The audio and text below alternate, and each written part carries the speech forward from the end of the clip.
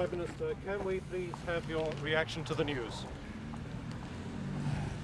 I feel like everyone else in this country today, utterly devastated.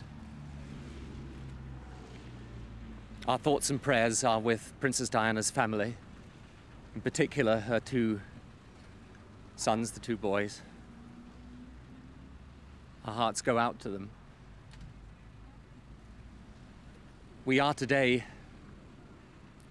a nation in Britain in a state of shock, in mourning, in grief that is so deeply painful for us.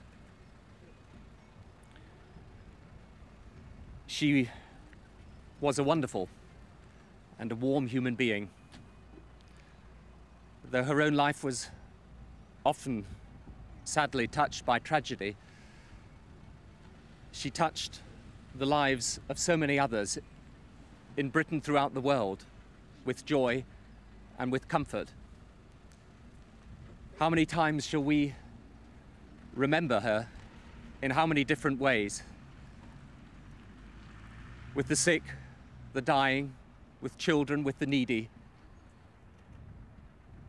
When with just a look or a gesture that spoke so much more than words, she would reveal to all of us the depth of her compassion and her humanity.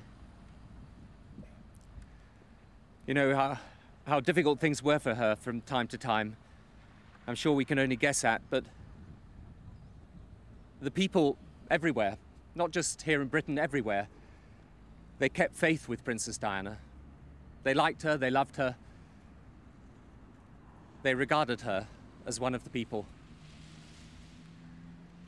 She was the people's princess. And that's how she will stay, how she will remain in our hearts and in our memories forever.